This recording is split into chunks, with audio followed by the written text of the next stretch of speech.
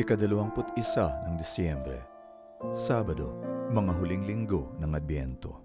Ang mabuting balita ng Panginoon ayon kay San Lucas. Nagmamadaling naglakbay si Maria papunta sa isang bayan sa mataas na lupain ng Huda. Pumasok siya roon sa bahay ni Zacarias at binati sa Elizabeth.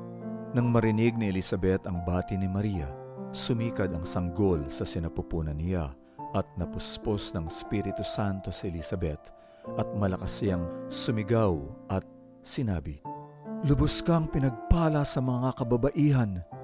Pinagpala rin ang bunga ng iyong sinapupunan. Sino nga ba naman ako't naparito sa akin ang ina ng aking Panginoon? Nang umabot sa aking pandinig ang iyong pagbati, sumikad sa tuwa ang sanggol sa aking sinapupunan.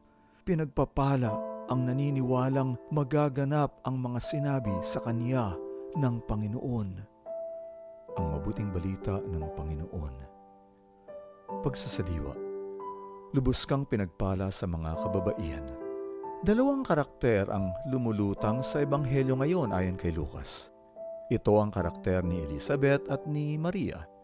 Nang ipahayag ni Elizabeth na lubos kang pinagpala sa mga kababaihan, pinagpala rin ang bunga ng iyong sinapupunan Ibinaling niya kay Maria ang pansin ng lahat sa halip na sa kanyang sarili. Sa kilos ni Elizabeth, nasaksihan natin ang kababaang loob ng ina ni Juan. Samantala, nasaksihan naman natin kay Maria ang pagmamalasakit ng isang taong pinili ng Diyos.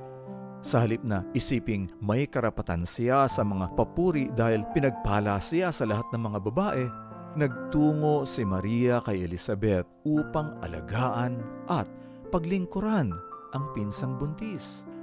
Datapot malayo ang pinanggalingan, hindi nagdalawang isip si Maria na ipadama kay Elizabeth ang kanyang pagmamalasakit.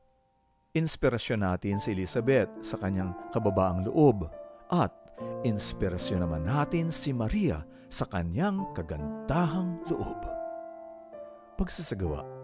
Isigaw sa Panginoon ang inyong kagalakan. Ano-ano ang ikinagagalak mo? Buong tapang at galak mo bang maisisigaw si Jesus sa gitna ng pamamayani ng sekularismo?